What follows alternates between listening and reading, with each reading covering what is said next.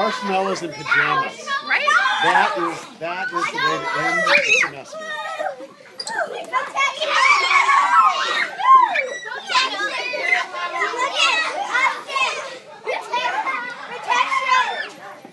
When I was a teenager.